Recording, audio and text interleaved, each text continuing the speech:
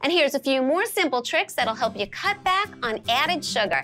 Instead of a 20 ounce sugary sweet soda with 16 teaspoons of added sugar, enjoy a refreshing glass of naturally flavored seltzer without a drop of added sugar. 16 teaspoons of added sugar, zero added sugar. And if you need a little more oomph in your beverage, simply add 100% fruit juice.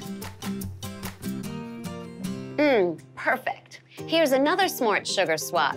Instead of a classic peanut butter and jelly sandwich, make a peanut butter and sliced fruit sandwich. The peanut butter provides filling plant-based protein and healthy fat, and the fresh seasonal fruit adds fiber and antioxidants without any of the added sugar that you typically find in store-bought jams and jellies. So our before peanut butter and jelly sandwich, four teaspoons of added sugar. And our new and improved peanut butter with sliced fruit sandwich, not a drop of added sugar. And finally, swap cherry gummy candies for frozen sweet pitted cherries. And here's why.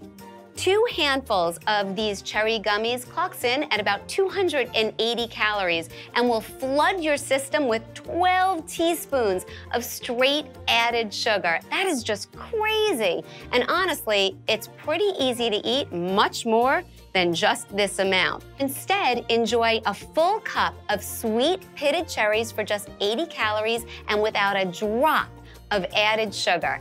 Three simple swaps that can help you feel better.